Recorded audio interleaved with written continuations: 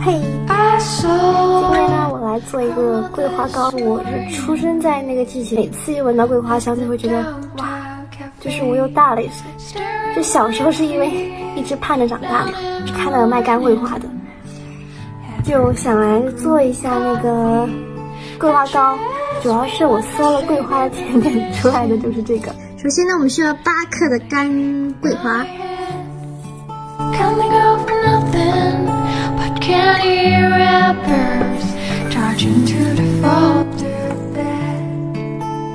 袋子装了调料水、长盐、糖和油，再加上七十九克的水，水反正很碎。不要有这种大颗粒在那里，要怕我两个粉饼用反，但是感觉跟想象的差不多，所以不慌。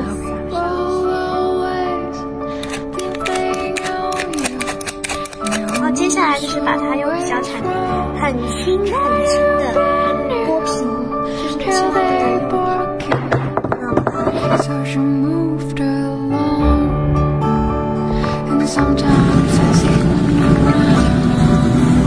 我们再搅拌搅拌，就等到水分慢慢变少，然后不要